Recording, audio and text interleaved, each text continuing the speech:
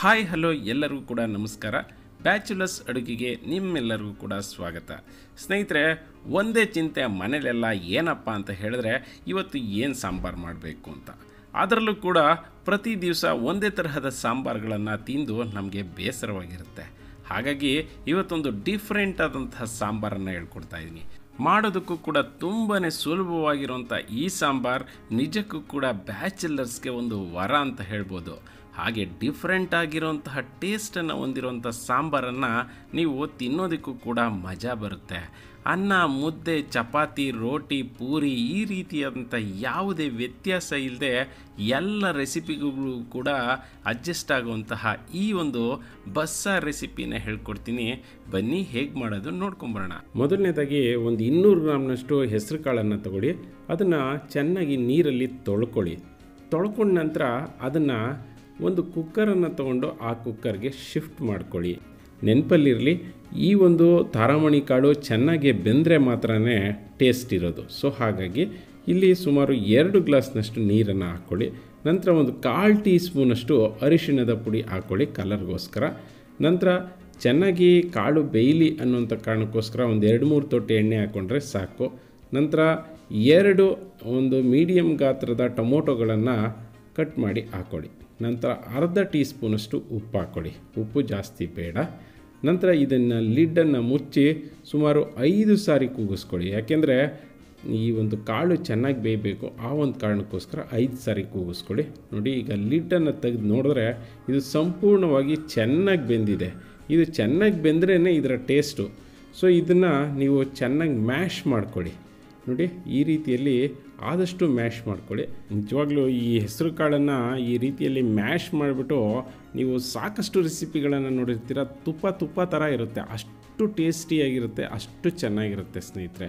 ನೀವು ಒಂದು ಕೆಲಸ ಮಾಡಿ, ಸ್ವಲ್ಪದಷ್ಟು ಇಲ್ಲಿ ಬಿಟ್ಕೊಂಡು ಎಲ್ಲವನ್ನು ಕೂಡ ಒಂದು ಮಿಕ್ಸಿ ಜಾರಲ್ಲಿ ತಗೊಂಡು ಅದನ್ನು ರುಬ್ಕೊಂಡು ಬಂದುಬಿಟ್ರೆ ಏನಂದರೆ ಬಾಯಿಗೆ ಸಿಗುವಂತಹ ಒಂದು ಪ್ರಮಾಣ ಕಡಿಮೆ ಆಗುತ್ತೆ. ಆವಾಗ ಏನಂದರೆ ಸಾಂಬಾರು ಕೂಡ ಗಟ್ಟಿಯಾಗುತ್ತೆ ನೋಡಿ, ಈಗ ಜಾರ್ಗೆ ಶಿಫ್ಟ್ ಮಾಡ್ಕೊಂಡಿದ್ದೀನಿ ರುಬ್ಕೊಂಡು ಬಂದಿದ್ದೀನಿ ಇದನ್ನು ಮತ್ತೆ ಇದೇ ಕುಕ್ಕರ್ಗೆ ನಾನು ಶಿಫ್ಟ್ ಮಾಡ್ಕೊಳ್ತಾ ಇದ್ದೀನಿ ಸ್ನೇಹಿತರೆ. ಈಗ ನಿಮಗೆ ಎಷ್ಟು ಬೇಕೋ ಅಷ್ಟು ನೀರು ಹಾಕ್ಕೊಳ್ಳಿ. ಅಂದರೆ ಆದಷ್ಟು ನಿಮಗೆ ಯಾವ ಒಂದು ಕನ್ಸಿಸ್ಟೆನ್ಸಿ ಬೇಕೋ ಸಾಂಬಾರು ಅದನ್ನು ನೋಡಿಕೊಂಡು ನೀರು ಹಾಕೋಬೇಕಾಗುತ್ತೆ ನಂತರ ಇದಕ್ಕೆ ಮಸಾಲೆ ರೆಡಿ ಮಾಡ್ಕೊಂಬರೋಣ ಬನ್ನಿ. ಅದೇ ಮಿಕ್ಸಿ ಜಾರ್ಗೆ ಸುಮಾರು ಮೂರು ಟೇಬಲ್ ಸ್ಪೂನಷ್ಟು ತೆಂಗಿನಕಾಯಿ ತುರಿಯನ್ನು ಹಾಕ್ಕೊಳ್ಳಿ.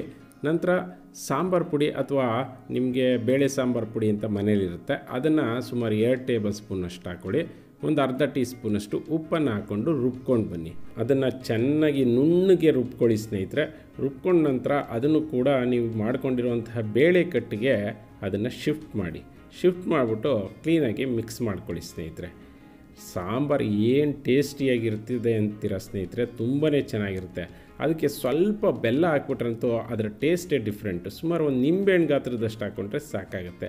ಅನಂತರ ಕೊತ್ತಂಬರಿ ಸೊಪ್ಪು ನಿಮ್ಮ ಒಂದು ಟೇಸ್ಟ್ಗೆ ಅನುಗುಣವಾಗಿ ಅಥವಾ ಟೇಸ್ಟನ್ನು ಹೆಚ್ಚಿಸುತ್ತೆ ಈ ಕೊತ್ತಂಬರಿ ಸೊಪ್ಪು. ಹಾಗಾಗಿ ಒಂದು ಎರಡು ಕಡ್ಡಿಯಷ್ಟು ಕೊತ್ತಂಬರಿ ಸೊಪ್ಪನ್ನು ಹಾಕ್ಕೊಳ್ಳಿ ನಂತರ ಇದನ್ನು ಒಗ್ಗರಣೆ ಮಾಡ್ಕೊಳ್ಳೋಣ. ಒಂದು ಬಾಣಲಿಯನ್ನು ಇಟ್ಕೊಳ್ಳಿ. ಬಾಣಲಿಗೆ ಸುಮಾರು ಒನ್ ಟೇಬಲ್ ಸ್ಪೂನಷ್ಟು ಎಣ್ಣೆ ಹಾಕ್ಕೊಳ್ಳಿ ಅದಕ್ಕೆ ಒಂದು ಎರಡು ಚುಟ್ಕಿಯಷ್ಟು ಇಂಗು. ಇದು ಆಪ್ಷನಲ್ಲು ನಂತರ ಅರ್ಧ ಟೀ ಸ್ಪೂನಷ್ಟು ಸಾಸಿವೆಯನ್ನು ಹಾಕ್ಕೊಳ್ಳಿ. ಸಾಸಿವೆ ಜೊತೆಗೆ ಜೀರಿಗೆ ಇದ್ದರೆ ತುಂಬಾ ಚೆನ್ನಾಗಿರುತ್ತೆ ಸ್ನೇಹಿತರೆ. ಹಾಗಾಗಿ ಜೀರಿಗೆ ಒಂದು ಟೀ ಸ್ಪೂನ್ ಹಾಕ್ಕೊಂಡ್ರೆ ಬೊಂಬಾಟಾಗಿರುತ್ತೆ ಟೇಸ್ಟು. ನಂತರ ಕರ್ಬೇವಿನ ಸೊಪ್ಪು, ಇದನ್ನು ಒಂದು ಕಡ್ಡಿಯಷ್ಟು, ಅಂದರೆ ಒಂದು ಹತ್ತು ಹದಿನೈದು ಎಲೆ ಇದ್ದರೆ ಸಾಕು, ಇದನ್ನು ಹಾಕ್ಕೊಂಡು ಕ್ಲೀನಾಗಿ ಫ್ರೈ ಮಾಡ್ಕೊಳ್ಳಿ. ಆನಂತರ ನಾವು ಮಾಡ್ಕೊಂಡಿರುವಂತಹ ಬೇಳೆಕಟ್ಟು ಮತ್ತು ಸಾಂಬಾರು ಏನಿದೆ, ಅದನ್ನು ಇದಕ್ಕೆ ಶಿಫ್ಟ್ ಮಾಡ್ಕೊಳ್ಳಿ. ಈಗ ನೋಡಿ ಅದರ ಟೇಸ್ಟು ಸಖತ್ತಾಗಿರುತ್ತೆ. ನಂತರ ಚೆನ್ನಾಗಿ ಇದು ಕುದಿಲಿ ಸ್ನೇಹಿತರೆ ಚೆನ್ನಾಗಿ ಕುದೀತಾ ಇದ್ದ ಹಾಗೆಯೇ ಸುಮಾರು ಒಂದು ಆ, ನಿಂಬೆಹಣ್ಣಿನ ಗಾತ್ರದಷ್ಟು ಹುಣಸೆ ಹಣ್ಣನ್ನು ನೀವು ನೀರಲ್ಲಿ ನೆನೆಸಿ ಅದರ ರಸವನ್ನೆಲ್ಲ ಹಿಂಡ್ಕೊಂಡು ಆ ಒಂದು ರಸನ ಮಾತ್ರ ಈ ರೀತಿ ಕೈಯಲ್ಲಿ ಹಾಕಿ ಚೆನ್ನಾಗಿ ರಸನ ಹಿಂಡಿ ಅದಕ್ಕೆ ಮಿಕ್ಸ್ ಮಾಡ್ಕೊಳ್ಳಿ ಸ್ನೇಹಿತರೆ. ಇದರಿಂದಾಗಿ ಆ ಒಂದು ಟೇಸ್ಟ್ ಕೂಡ ಚೆನ್ನಾಗಿರುತ್ತೆ. ಲಾಸ್ಟಲ್ಲಿ ಸ್ವಲ್ಪ ಕೊತ್ತಂಬರಿ ಸೊಪ್ಪನ್ನು ಅದಕ್ಕೆ ಉದುರಿಸ್ಬಿಟ್ರಂತೂ ಬೊಂಬಟ್ ರುಚಿ ಸ್ನೇಹಿತರೆ. ನಿಜಕ್ಕೂ ಕೂಡ ಸ್ನೇಹಿತರೆ, ಈ ಹೆಸರು ಕಾಳಿನ ಒಂದು ಬಸ್ಸಾರು ತುಂಬ ಟೇಸ್ಟಿಯಾಗಿರುತ್ತೆ. ಅದರಲ್ಲೂ ಗಟ್ಟಿಯಾಗಿರುತ್ತೆ. ಸಾಂಬಾರು ಸಾಮಾನ್ಯವಾಗಿ ಈ ಬಸ್ಸಾರುಗಳು ತುಂಬ ತೆಳ್ಳಗಿರುತ್ತೆ. ಮುದ್ದೆಗೆ ಮತ್ತು ಬೇರೆದಕ್ಕೆಲ್ಲದಕ್ಕೂ ಹಾಕೊಂಡು ತಿನ್ನೋದಕ್ಕೆ ಅಷ್ಟು ಮಜಾ ಅನಿಸೋದಿಲ್ಲ.